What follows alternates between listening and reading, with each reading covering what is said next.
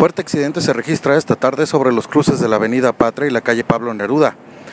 En lugar, una camioneta Cherokee en color plata impacta a un automóvil Nissan Suru en color blanco. Afortunadamente no hubo personas lesionadas, únicamente afectaciones a la vialidad debido a que la camioneta Cherokee quedó atravesada a la mitad de los carriles para los que vienen circulando sobre Patria de Naciones Unidas con rumbo hacia la avenida Acueducto. Tome rutas alternas a este punto. Para tráfico ZMG reporta Armando Villarreal.